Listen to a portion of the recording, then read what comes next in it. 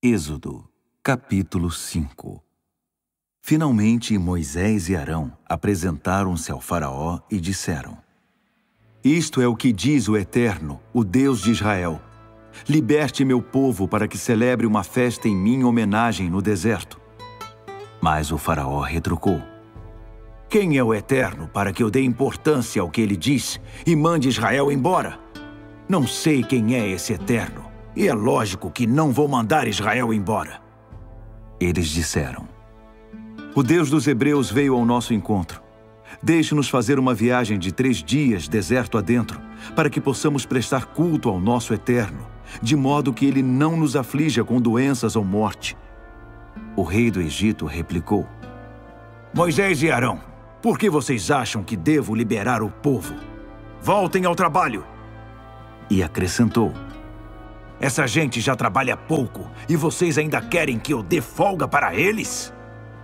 A retaliação do faraó veio na hora. Ele deu ordens aos feitores e seus subordinados.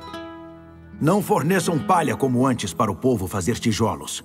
De agora em diante, eles mesmos vão ter de providenciar a palha. Isso não significa redução da cota diária. Eles vão ter de produzir a mesma quantidade de tijolos, isso porque estão ficando preguiçosos e ficam dizendo por aí: libere-nos do trabalho para que possamos adorar ao nosso Deus. Não deem moleza a esses folgados. Assim eles param de fazer reivindicações e esquecem essa história de adorar a Deus. Os feitores e seus subordinados foram passar as novas instruções ao povo. Ordens do faraó. Não se fornecerá mais palha Recolham vocês mesmos a palha onde puderem encontrá-la, mas não se reduzirá um único tijolo de sua cota diária. E o povo espalhou-se por todo o Egito em busca de palha. Os feitores não tinham misericórdia e pressionavam os escravos. Cumpram sua cota. Queremos a mesma quantidade de quando recebiam palha.